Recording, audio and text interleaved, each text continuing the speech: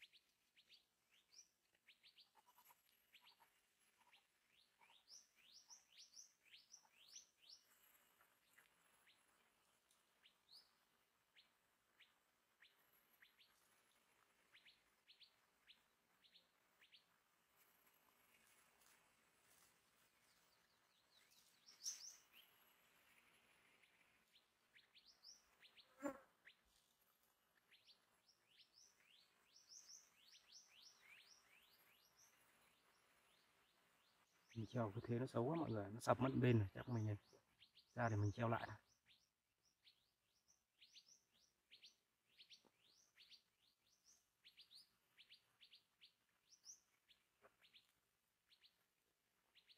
không kịp ra treo lại mọi người, nó lại về rồi. sập mất một bên